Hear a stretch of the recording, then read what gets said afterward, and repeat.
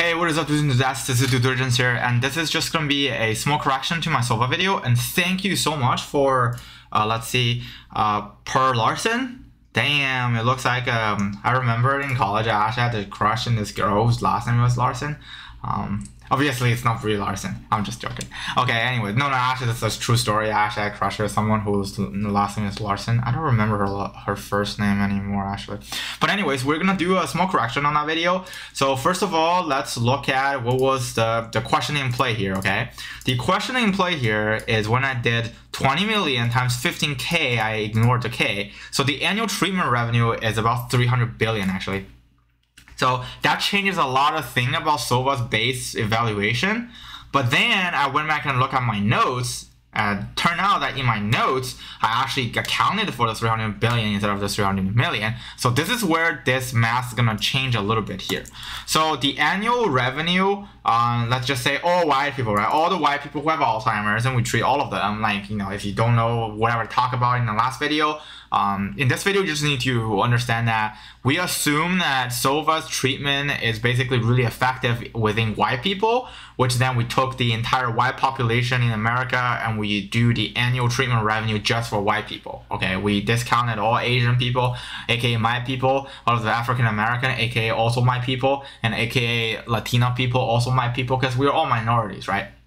So we do the 300 billion dollar annual treatment revenue, and we just assume that SAVA is going to be a market leader, right? But in reality, um, when I'm doing the calculation, I actually didn't dip 0.6, I did 0.4 because I realized that you know stuff like AC Immune and uh, stuff like you know Biogen and other things, their treatment is not really going to go away. So what what really is in question here is how great their their marketing or their their sales channel connection to all of doctors' offices are.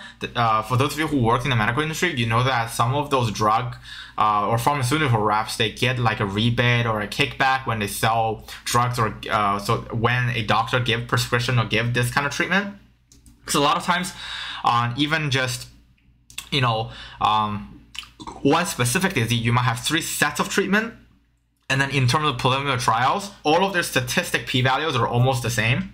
Therefore, no matter uh, what the patients pay, pay or pick, or the doctor decides to recommend to the patient, or obviously the patient would just take doctor's recommendations, which I think is actually very unethical when doctors recommend, um, you know, products and stuff that they actually have a direct financial stake in. But in reality, that happens every single day in the, in the medical industry. So, so they wouldn't control the entire market. But in here, let's just do an overvaluation. So that will give them 100, 180 billion annual revenue.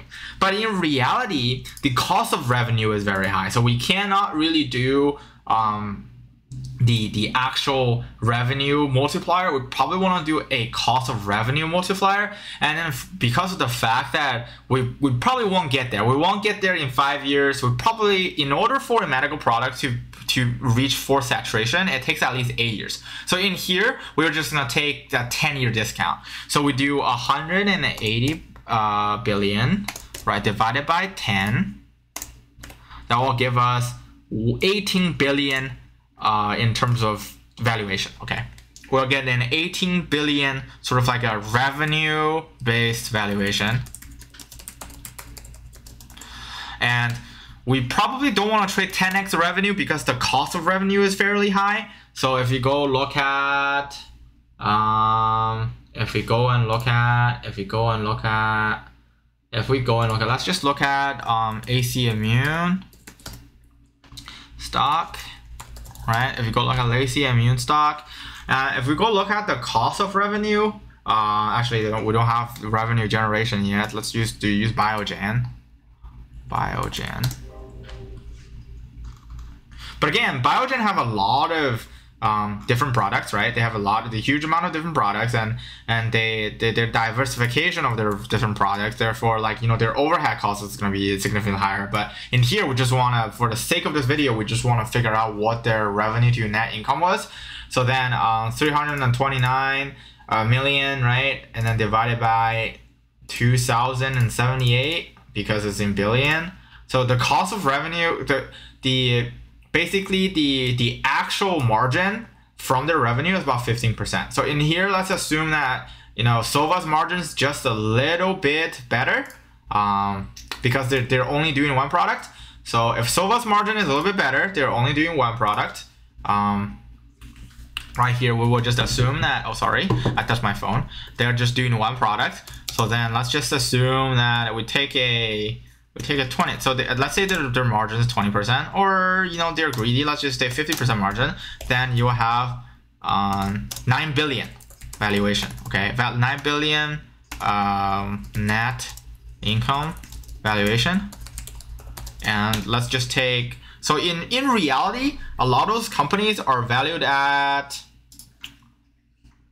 so where, is this market cap? This market cap is 33 billion. And then this is 329 million. Let's just take on um, the, the 10x revenue. So if we're doing the 10x revenue with the, with the years, let's just do that. So technically speaking, if all of these come true in the next 10 years, SAVA, SAVA's market cap should be around 90 billion, okay? And I think it's an overtly overvalued evaluation that we're giving here. But again, you know, we're trying to make a sort of like a bullish look on this since you guys are really bullish. Uh, so this is a long-term price target for this. It's not really a, what is the outstanding share?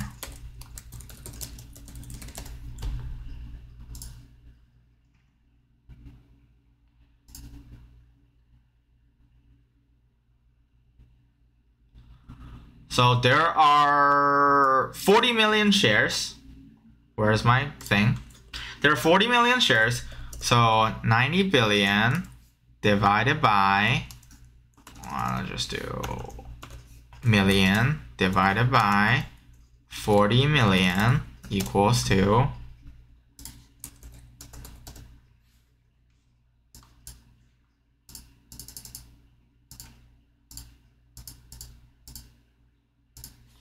2250 dollars okay this is this is actually crazy 200 2050 dollars it's like this is the the the highest what is funny is this is the highest and highest ever stock price price you will ever get for SAVA. It's 2,250. Okay, and then if you go look at what SAVA is at right now,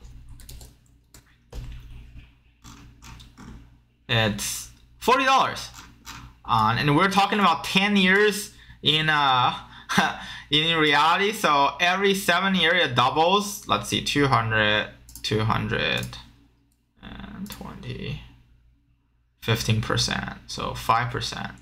So 15%. But in reality, this 9 billion net income valuation is actually just about 3 point, about, because you want to do so this is over, right? This is over bullish, over bullish, overtly, overtly, overtly bullish. Also did not count for previous loss. Okay, we didn't account for previous losses. They generated a huge amount of previous losses and we have to go in there and do that. But the thing is, you know, it, it rarely will get there. The probability of, of, it getting there is absolutely impossible. So this is the impossible valuation we get. This is the more realistic one, okay? So you have 9 billion net, but 10, uh, 18 billion, but in reality, it's probably just, you know, 20% margin, right? That's 3.6 billion in net income. And we're doing it in perpetuity.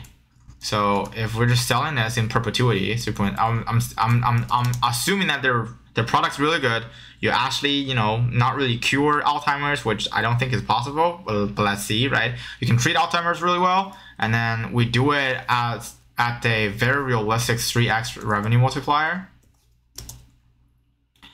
It will give you a $10.8 billion valuation. Okay, I think this is um, this is valuation. This is this is actually quite good. Okay, and then let's just do let's go look at SAVA.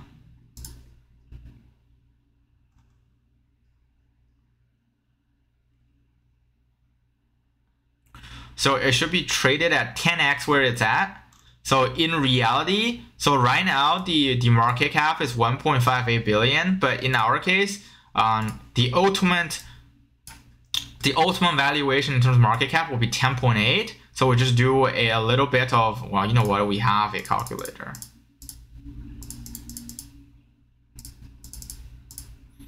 Six point, it will be 6.86.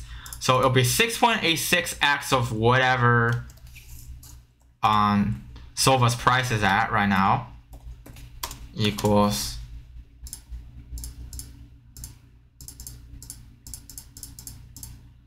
two hundred and seventy-two point six eight dollars. Okay, this is on if everything goes as planned. SAVA market leader and etc etc okay if you're really really bullish that you believe the operations everything in this company will go smoothly like we assumed um, this is the price target you will have in 10 years in in 10 years okay in 10 years but in reality um, because it's in 10 years can we really pinpoint how much it's really worth right now it, it, it's uh, it's pretty hard because they don't really make any revenue but again you know, if you divide that by two, so uh, actually, so this is one year 2020. So when they changed their names, I think in 2019.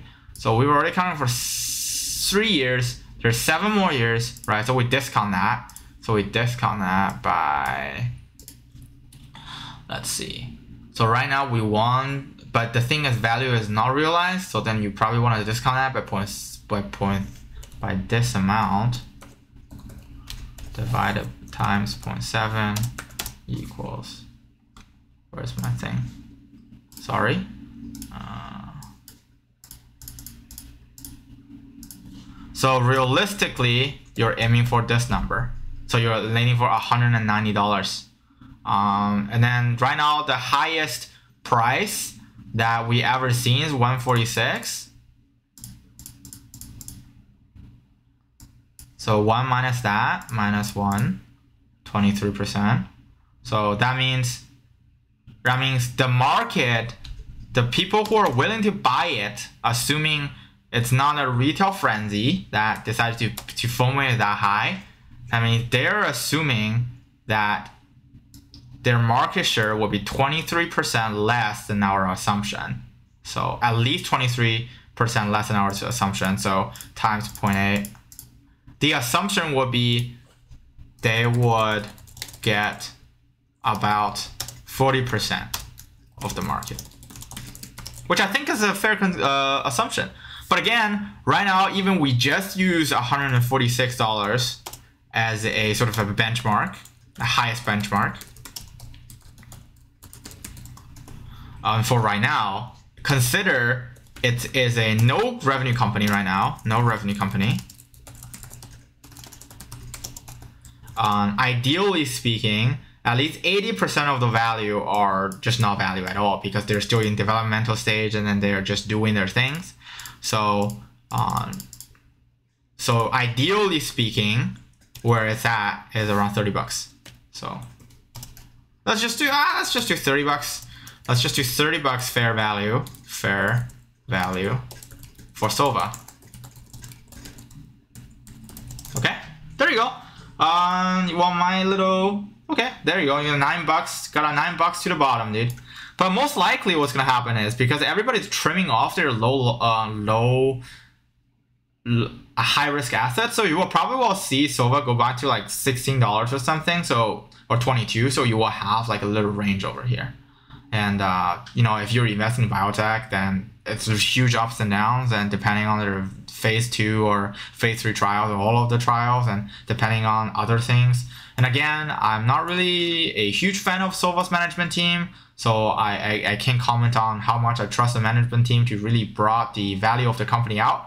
But again, if you really believe that it's gonna be a, a, a, a it's gonna be a really great product, a treatment product, then $190 what you're aiming for, and $30 would be the price that where you think you know you want to buy it for for a 10 year hold. Okay we're looking at a 10 year hold.